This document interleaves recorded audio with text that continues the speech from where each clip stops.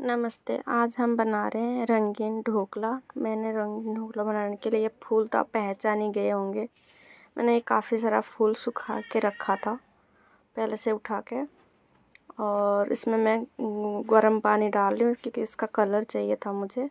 इसलिए मैं इसमें ढक के दस मिनट के लिए रख लेंगे। तब तक हम सूजी ले लेते मैंने एक कटोरी सूजी लिया है, पौने एक कटोरा दही लिया है। स्वाद अनुसार नमक ले रही हूँ। और मैं इसमें अदरक और लहसुन का पेस्ट डाल हूँ। आप बच्चे खाएँगे तो आप मिर्ची थोड़ा कम ज़्यादा कर सकते हैं। और उसके बाद जो मैंने पानी में भिगो के रखा था, वो फूल का पानी इसमें मैं ऐड कर रही हूँ। और ये सारी चीज़ को मिला के हम अच्छे से दस मिनट के लिए रख लेंगे, क्योंकि सूजी फूल जाए।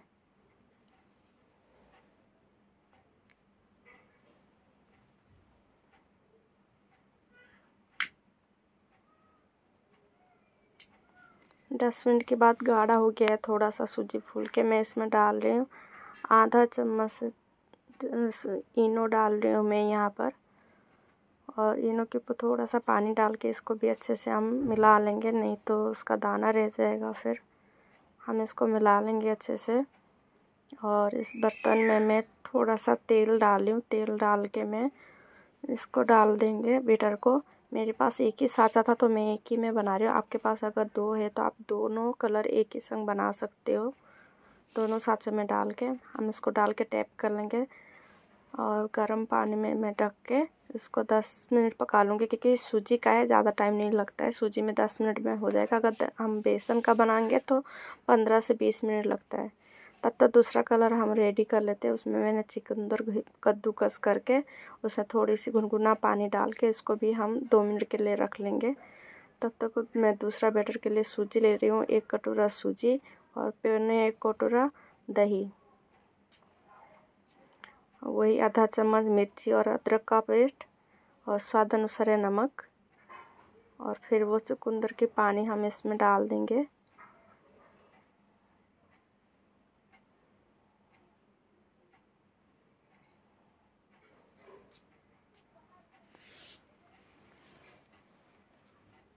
आप अपने हिसाब से देख लेना, क्योंकि ज़्यादा हमें गाढ़ा और पतला नहीं चाहिए।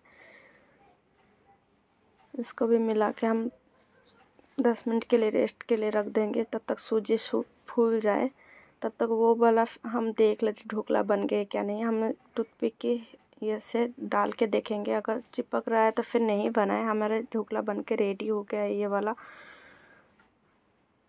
तो हम इसको थोड़ी, गर्म है तो फिर भी प्लेट के ऊपर हम इसको चारों कोने में चाकू से हम वो करके फिर निकाल लेंगे इसको।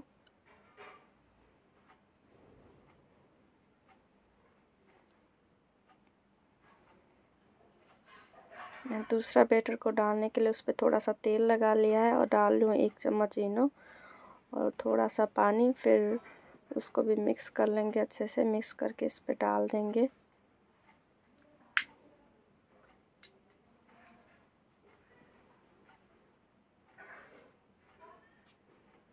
इसको भी थोड़ा सा टेप करके हम गर्म पानी में उबलते हुए रख देंगे। इसको भी वही दस मिनट रखेंगे हम। जब तक ये बन रहा है हम तब तक चटनी बना लेते हैं इसका तड़का बना लेते हैं। आ, मैं डाल रही हूँ थोड़ी सी तेल में कड़ी पत्ता और राई। राई तड़कते ही थोड़ा सा मैं डाल रही हूँ वहाँ पर दो चार हरी मिर्ची क्योंकि हमारी बैटर में भी अदरक मिर्ची का पेस्ट है तो इसलिए मैंने मिर्ची अपने हिसाब से डाली आपको कम ज़्यादा कर सकते हो। मैं यहाँ दो कटोरी पानी लिया है, एक कटोरी चीनी और इसको बॉईल कर लें थोड़ी दो दो चार मिनट हम बॉईल कर लेंगे और उसमें डाली हूँ मैं आधा नींबू। क्योंकि मेरा दही थोड़ा सा खट्टा था तो मैं इसमें आधा ही नींबू डाल रही हूँ। आपको खट्टा ज़्यादा चाहिए, खट्टा मीठा तो आप थोड़ा ज़्यादा नींबू कम कर सकते हो। तो मेरा ये वाला भी बन के रेडी हो गया। अब हम इसको प्लेट में पलट लेंगे। मेरे पास ऐसे साँचा था तो मैं इसमें काट रही हूँ। आप कैसे भी डिज़ाइन से काट सकते हो।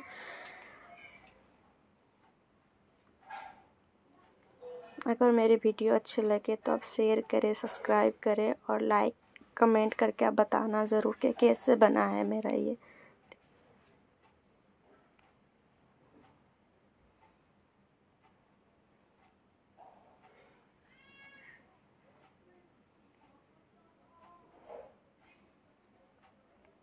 हमारा बन के रेडी हो गया कलरफुल सूजी का ढोकला।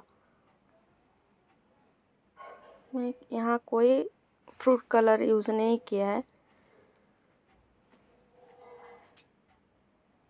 ऊपर से डाल देंगे, जो हमने वो बनाया, चाशनी बनाया था, उसी को हम डाल देंगे। तो हमारा बन के रेडी हो गया।